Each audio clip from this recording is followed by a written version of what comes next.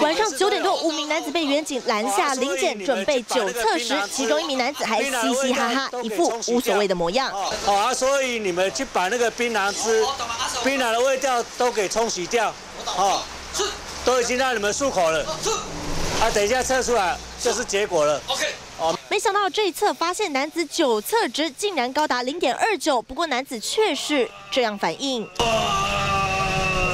二九哈，李一威哈，酒测值零点二九哈，涉嫌公共危险罪，警方现在依法加以逮捕。酒测超标，男子被带回警局做笔录，还因为犯了公共危险罪被警方移送。不过他才刚坐上警车，马上就声泪俱下，哭诉自己还有车贷要缴，付不起罚款。当初他没没有认为这事太严重啊，但他后来到贷款所侦办的时候，他对当时在现场的反应也感到很后悔。男子和朋友一群五个人晚上出门聚餐，酒后还骑车准备去夜游，没想到遇上临检，被抓酒测超标。男子一方面为了顾及面子，一方面又真的是喝忙了，醉态百出。酒醒后上警车，却留下男儿泪。如此戏剧性的变化，让人看傻眼。